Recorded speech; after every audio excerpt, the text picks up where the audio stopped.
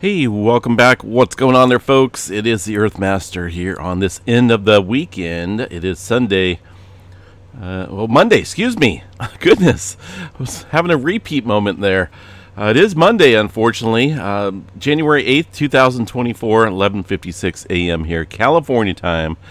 And uh, latest activity shows, uh, looks like a two-pointer up in Alaska and also a 3.8 out here across the Indonesia Islands area.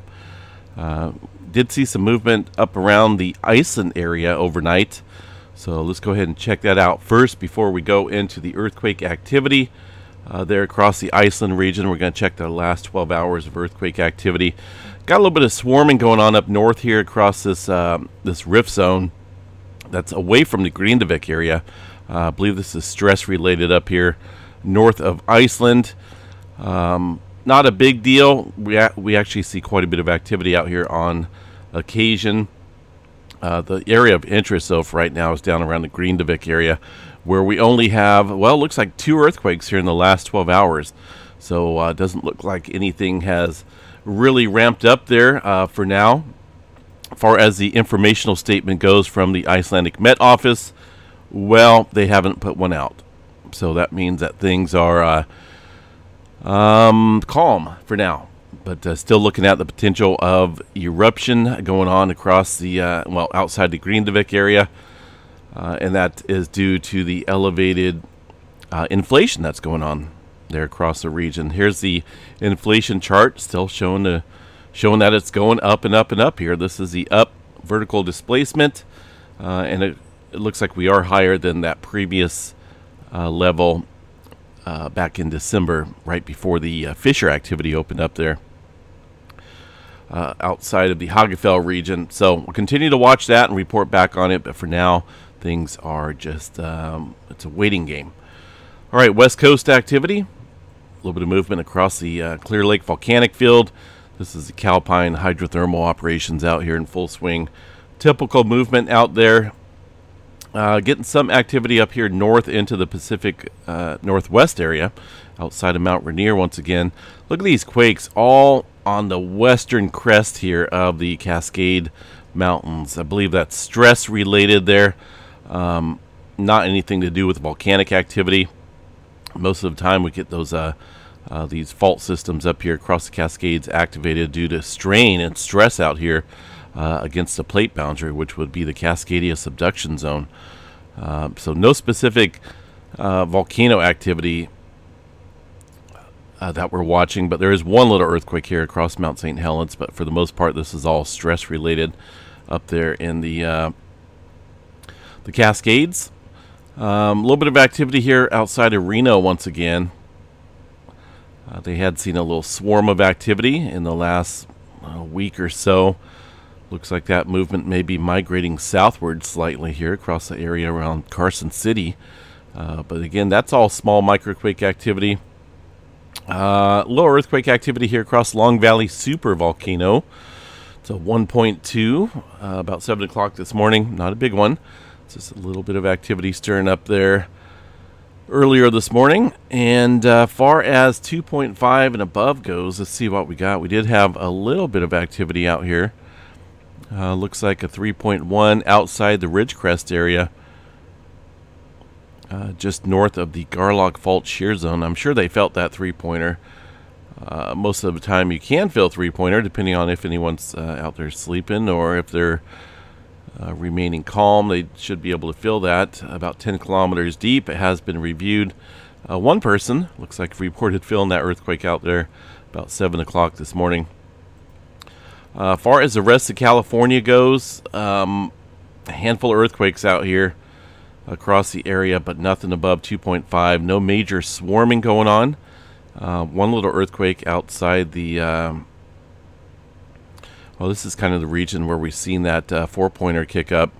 A little 1.4, 8 o'clock this morning. So I'm going to continue to leave the earthquake watch up uh, through the day if we don't see any further activity throughout the uh, the day period, then we'll bring it down. But uh, hard to say if we're going to see any further activity out here uh, following that 4.2 a couple days ago. Uh, Yellowstone National Park seeing some movement up here. It looks like some ones and uh, even a two pointer. So let's double check that, see what's going on up there in Yellowstone. Uh, earthquake activity is going to look like this. That's uh, specifically earthquake activity here, and there's a handful over the last 24 hours. Not really seen any swarming uh, to um, report out here. Uh, broader view still shows some activity out in Texas and um, out here in the east. A little bit of movement around South Carolina and uh, one earthquake there in Tennessee from yesterday, 2.4. So what do we got going on for the broader view? Any large-scale activity overnight? Well, let's see what we got for the largest. Um, that's from yesterday, today's quake, a 5.2 over here across the Java Trench, uh, just off the coast here of Sumatra. So no big large-scale activity overnight. Uh, just kind of continuing to watch this. It's been somewhat, basically somewhat quiet here over the last couple days. You know, a handful of earthquakes here and there in your typical zones. Uh, one earthquake right now, 4.4 in Iran. Uh, that just coming in here within the last half an hour. Uh, got a little bit of activity up in China as well. It looks like from uh, earlier earlier this morning. Uh, far as the region south here, uh, still getting some shallow earthquake activity up here across this region. Most of the time, um, if we go back the last week or so, uh, we see these deeper quakes in the area of the Tonga Trench. A lot of times we'll see that migration of earthquake activity and pressure uh, along this plate boundary. But it looks like we're starting to see um, some stress up at the surface levels. Uh, that could kick up further today, uh, potentially, after seeing all this deeper activity here in the last week. So we'll keep an eye upstream. Uh, there's also um, couple different quiet zones out here. Solomon Island still really hasn't moved all that much uh, in the last week across this area. The plate boundary stretches uh, a few hundred miles here from about Santa Cruz Islands um, uh, northwestward here along this plate boundary. So keep an eye on that. Uh, New Zealand's down here, just sitting down there being quiet, looks like. Um, really not seeing anything major across that area. Looks like a three-pointer, an older quake there from yesterday. Uh, a quick glance at the GeoNet servers here. We'll just run through this real quick. 2.6. A couple other earthquakes out there uh, from yesterday. Uh, a little bit of swarming it looks like going around here across this area. Those look like legit earthquakes localized to uh, this area right here. I'm seeing just barely some of these uh, readings showing up over here slightly. The stronger ones obviously will show up, uh, you know, more uh, uh, more clearly. Uh, but there's definitely uh, some earthquake activity going on there. That's at the uh, looks like the southern edge of the uh, Kermadec Trench.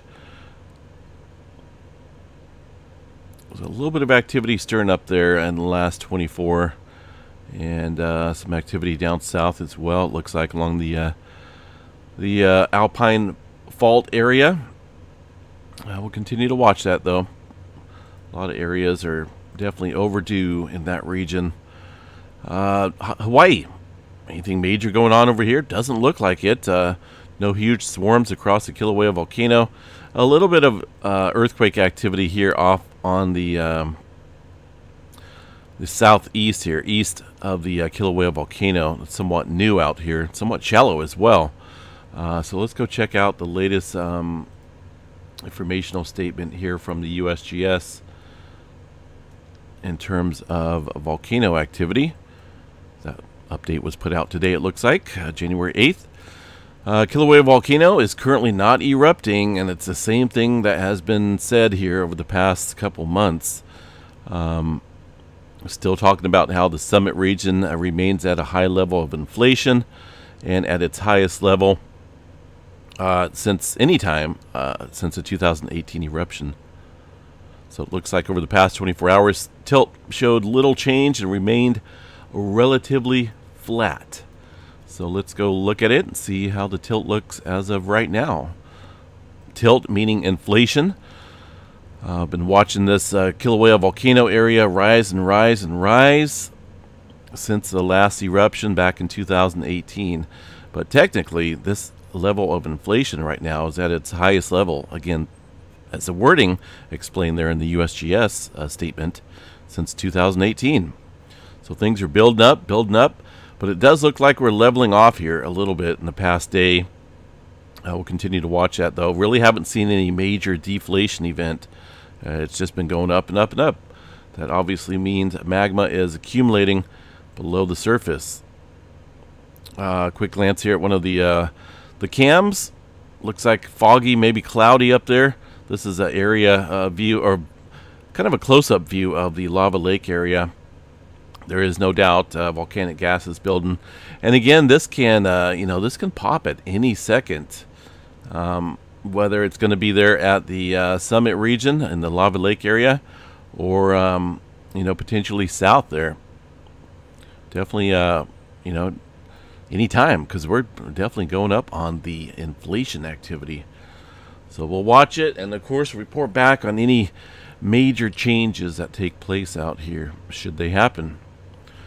Uh, Alaska looks like Alaska. I'm sure it's beautiful this time of year. I love wintertime up there. it's absolutely stunning. I have yet to go up there in the summertime. Uh, but I was up there in December uh, a couple years ago, a few years ago. Spent a few days up there and explored the area of Alaska. It's absolutely beautiful. Uh, 2.6 north of Anchorage. Aside from that, most of the uh, activity very small microquake activity. Uh, so zoom in South America here. Looks like some activity from yesterday and today. Relatively deep. I'm sure the Earthquake 3D program is going to show some further activity, which is normal and typical out here in the smaller range. But uh, just kind of a slow day in a way for earthquake activity right now. All right, let's move on to uh, space weather activity. See if there's anything else in the uh, weather, space weather world. Uh, looks like we're having a little bit of C flare activity currently as we speak. Notice this little spike here on the chart. Let me zoom in and show you guys a little bit of C flare activity in the C range. Overall, the last three days have shown uh, just um, minimal solar flare activity. Nothing really getting up into the M flare class, but it is, you know, kind of spiky there, indicating activity. And I believe a lot of that movement is coming off of, uh, looks like maybe this region right here. And we do have a couple more active regions across the uh, eastern limb over here. Uh, let's see what we got for the sunspots that are currently facing us. There's a lot of them. Goodness, there's quite a bit.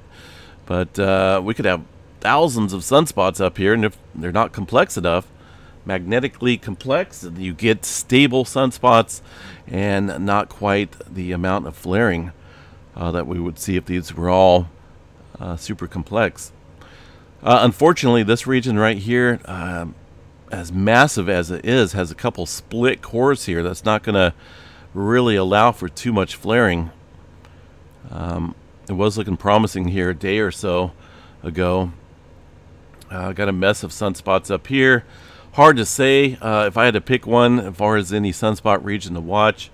Um, we are showing a little bit of growth among this little section here and potentially down here that uh, may harbor some uh, some flaring activity and of course we'll get a little bit better perspective view of a newer sunspot about ready to make its presence known on the earth facing side of the sun uh, right now, not a whole lot of roars in the forecast. Look at that KP index there over the last um, couple days. Fairly quiet. No forecast there for the auroras for now. Very minimal. All right, uh, weather outlook here today. We have a bunch of stuff going on here. This is a National Weather Service watch warning and advisory display. Down here in the yellow, that is across the uh, areas of Texas and the Louisiana. Um, these guys are underneath a tornado watch. Uh, of course, that is a severe potential out now out there right now. There is quite a few storms brewing up, as shown here on the local radar. Let me bring up the uh, image just a little bit bigger here so we can see. Uh, north of Houston area, some of these storms look like they are trying to rotate there. I get that little hook echo that uh, most storm chasers are uh, very familiar with. But uh, yeah, right now, Galveston, Houston, uh, Beaumont tornado watch out here, it looks like. And uh, it's just getting going. This thing could uh, definitely last throughout the good portion of the evening. Looks like there's some type of flash flood advisory over here. Um, let's check out the Storm Prediction Center. Uh, see if they've done anything different here since last night. Enhanced region in the zone. Um, that's mainly for a huge 10% hatched area. Uh, when it's dashed like that, that means the uh, greatest probability here, uh, a 10% or higher probability of seeing an EF2 to an EF5, which EF5, obviously the, the strongest tornadoes, uh, within 25 miles of a point. Uh, so heads up, weather aware, uh, must must be weather aware today. That's for sure. Down there across this area, did see some wind damage already kicking up uh, from some of these thunderstorms. Could be straight line winds, could be inflow. Uh, either way, it's going to be a windy day out there. Um, I just hope everyone stays safe and uh, make sure you have a plan to get to safety if you are underneath a tornado warning. Um, definitely be weather aware. Some hail potential out there as well. It looks like 15% chance.